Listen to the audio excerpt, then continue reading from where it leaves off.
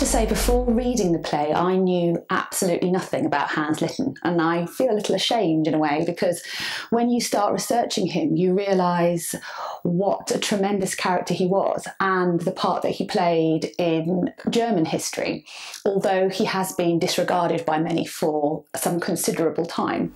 In May 1931, he committed the ultimate crime, as it turned out, of calling Adolf Hitler as a witness in a trial of SA men, guards, officers, in atrocities they had committed. And he pretty much showed Hitler up and embarrassed him, and something that it appears Hitler never forgot. Because following the night of the Reichstag fire and when Hitler had become very powerful and was chancellor and was more powerful than anybody could ever possibly have imagined, he had Hans Litten arrested. Um, he then followed many, many years of incarceration, torture, atrocities committed against him as a political prisoner. But that's that's the basis of the story. But the real story of Mark Hayhurst's play is about his mother.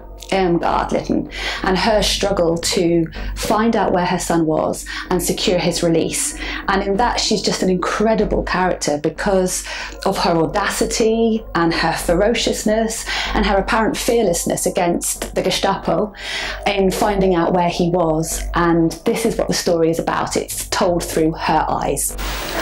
I am lucky enough to have the opportunity to play uh, Irmgard Litten because she has an incredible story to tell and she is an incredible woman.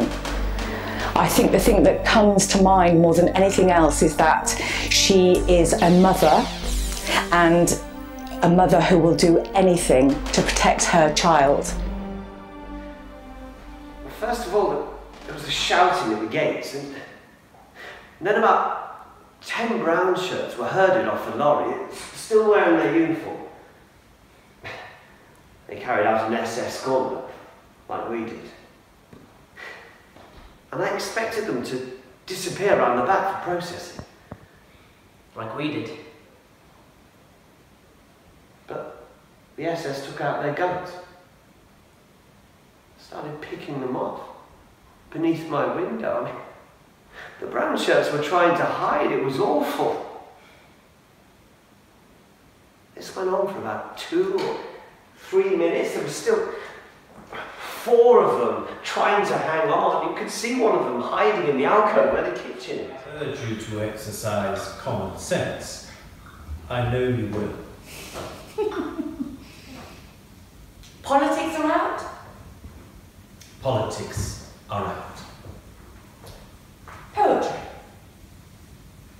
Which poets? His favourite poet is Rilke. Hmm. Poetry is tricky, isn't it?